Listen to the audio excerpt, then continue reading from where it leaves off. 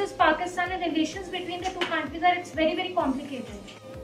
I would like to think of myself as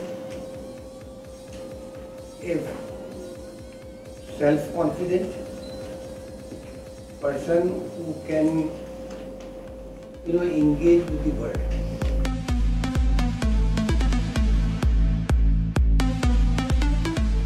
Maybe probably the medium has changed from a printing a printed paper to uh, uh, an article that you read on that tab.